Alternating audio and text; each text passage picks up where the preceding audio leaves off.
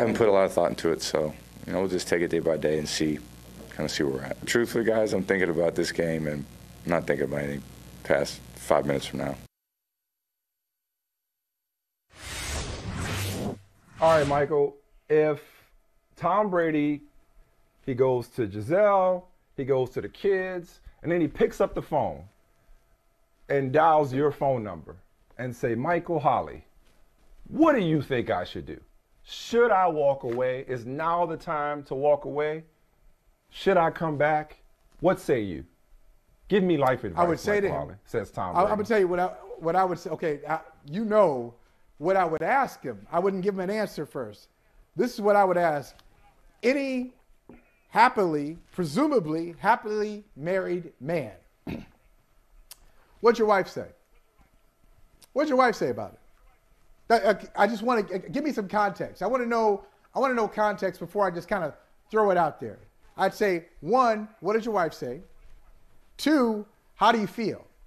I mean, just mentally, not just not right now, but just macro. How do you feel about uh, just mentally preparing for the games and physically? And the uh, third thing I'd say, what do you want to do? What do you want to do? Like, what do you see that that interviewer's question? What do you see yourself doing in the next five to ten years? And then I'd probably tell him, I'd walk away. You've done, you've done everything. You've been incredible. Your legacy is secure. You've proven a point, if that's what you wanted to do. You've proven a point that that Tom Brady, the Tom Brady show, travels. I think some people wondered about that uh, at the end of the 2019 season when it wasn't by his standards, was not the greatest year for Tom Brady. 20-something touchdown passes. Uh, Patriots eliminated in a wild card game by the Tennessee Titans. Tom Brady looked good, but not like the GOAT anymore. And he went to Tampa and he brought his crew with him. And by, by dint of his hard work and his knowledge, he was able to get this team to buy into him. He won a Super Bowl away from Bill Belichick, away from the Patriot way, all that stuff. And this year, he's played like an MVP. You've proven it. You won seven titles. You, you're, a, you're a fixture in the, in the conference championship games, whether it's the AFC or NFC.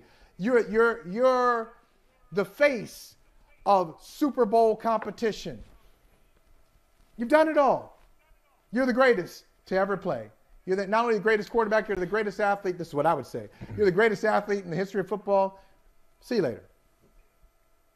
Yeah, Walk and away. then hopefully he called me afterward and I'd say, don't listen to that dude. Because that dude don't know what he's talking about. Okay? I'd ask him one simple question. Do you still love it?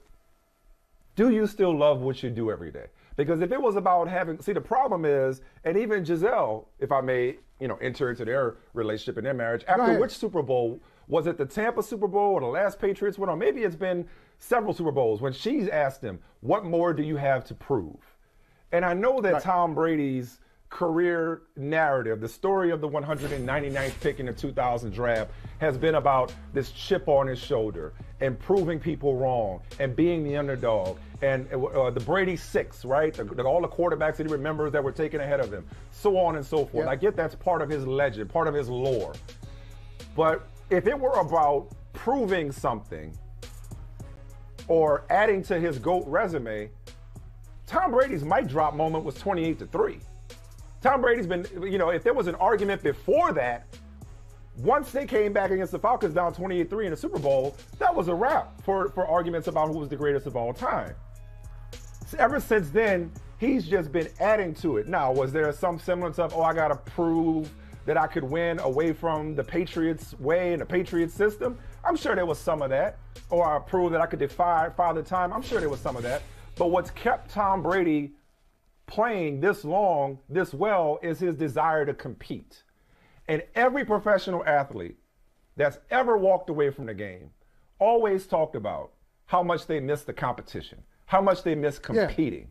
And so if you're Yeah, Tom. Brady and you can still compete at the highest level, not just with the opposition, but also with yourself, you don't get to walk away at this age. You don't get to walk away and come back. See, because I was thinking, like, well, he would walk away on top and he'd walk away at the top of his game, a la Jim Brown. How cool would that be? Well, yeah, that's only if if if, if he cares about how we remember the end of his career. Because however they walk Yeah. away, whether it's on top or on a decline, it doesn't take away from what they did. Peyton Manning is a great example of that. Like, yeah, he was washed at the end, but that has nothing to do with the MVP that he was all those years before. The other thing, I, the other thing I said uh, Friday, we were talking about this, was like, oh well, you know, I can't see Brady walking away after a loss. I see him walking away with the Lombardi in his hand because I don't see him living with the loss for the, for, for the rest of his life. That's the last game he played. But what does that have to do with all the other times that he won? You know, like he's not going to be able to script the perfect ending because he, he's had an opportunity to do that. Like last year, if he was going to walk away after a Super Bowl win, that's not what brought him back because he knew that there was a Yeah. possibility that he wouldn't do it this year. What keeps bringing him back is something that if I'm him and I can still do it at the highest level, I'm not going to stop until I have to stop. Now that have to, Michael, may have to do with his family. And it may have to do Right. with his wife is like, dog, you can't do this no more. I'm not let if, it, me or me or football. Or his kids are like, Dad, us or the game. And that's and obviously we know what choice he would make. But short of that, short of that, you gotta keep if you love it, you gotta convince them, guys, I love it too much to walk away. I love it too much to walk away. So, in, so you know what? What's funny, Michael? I'll leave. I'll leave you with this. Uh, you know, I love 300, right? You know, I love 300 and Right. 300 Rise of Right. an Empire. Okay.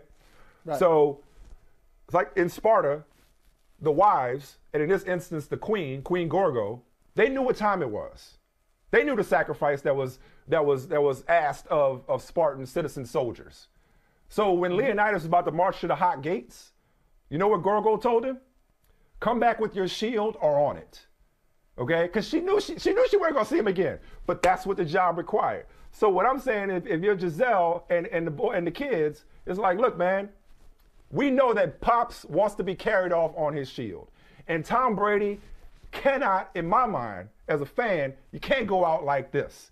Don't go out when you got so much left in the tank. It's nice to be able to say you walked away on top, but when you got this much left in the tank, I think it would haunt him if he walked away still loving the competition and still being able to play at the highest level. So I would say running back until you can't run it no more, dog. All right, listen. Ride that thing I- till the I wheels 300 fall off. I, I like 300 too. As a matter of fact, you don't remember this, you don't remember anything. Uh, I saw it with you in 2007 uh, at Regal Fenway Cinemas in, in Boston. Okay, I saw it with That's you. I saw the movie with you. That's scary. Yeah, That's scary. So, all right. So, yes, great movie. I'm with you. But Tom Brady, Tom Brady is not in a movie. He produces some of them. He uh, executive produces some of them, but he does not star in them. In this case, you talk about Tom Brady still is able to compete at a high level and he loves it. Well, that can't be the only reason to stay because he's different. And so we've already established that. We've established that maybe when he got to 40 and he was a unanimous MVP of the league, or no, that, that wasn't unanimous, but he was MVP of the league when he was 40 years old, oldest, oldest MVP in NFL history. And that was five years ago almost, five years ago. So he's established that he's different. He'll be able to play it at a long time. If we go by that standard, hey, as long as I'm able to do it at a high level, he'll never stop. It will feel like that to his family. He, he may play till 48 or 49.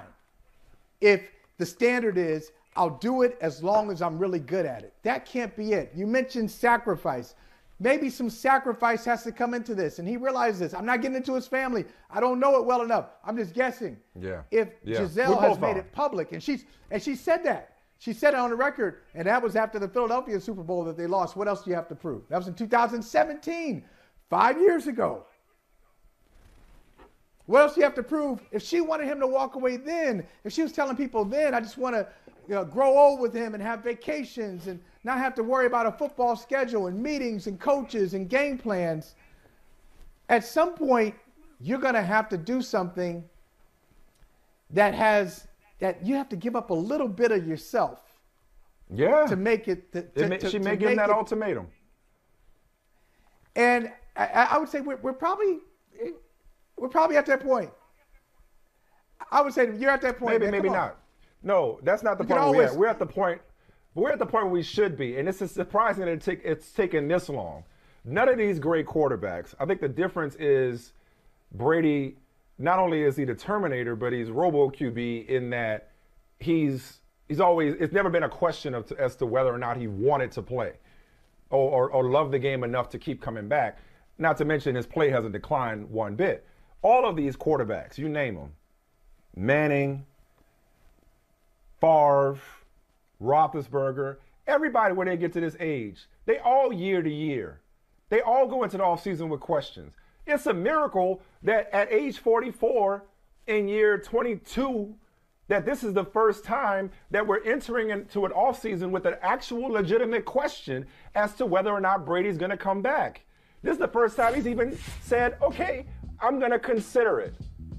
I'm just, I'm, I'm, I'm just, I'll, I'll think about it. I haven't thought about it. I'll think about it. It's never been a question before now. So all we are now, honestly, I think we're we're kind of overreacting because that's you know what we're doing. Because wait a minute, wait, Tom's actually thinking about walking away. In what world does Tom Brady walk away, especially the way he's playing right now? Well, he's 44, almost 45 years old, and this is what they do at that age. They can sit, they, they go home, they take stock, they wonder if they want to put forth the effort that it takes to prepare their bodies at this age to play in another year. He talks to the misses, he talks to the kids. Bro, I, even though this is more of a story now than I thought it would be, I'd be shocked if he walked away.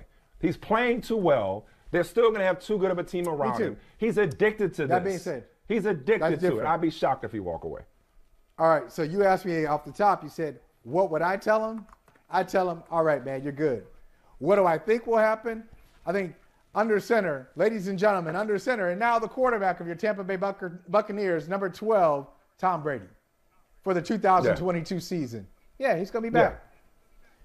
And I yeah. think he, not only do, do I think he'll be back in 22, probably be back in 23 as well.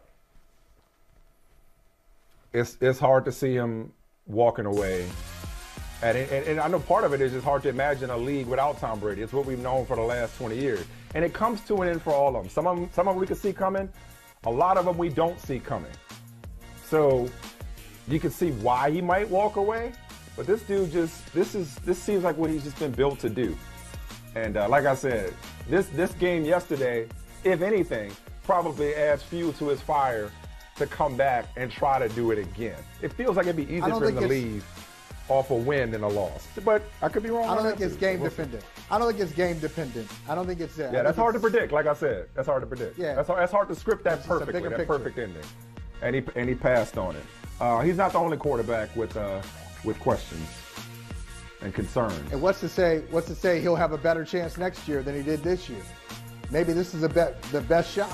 Hey, thanks for watching Brother from Another on YouTube. Make sure you hit subscribe before you leave and be sure to watch us 3 to 5 p.m. Eastern Time on Peacock. Appreciate you.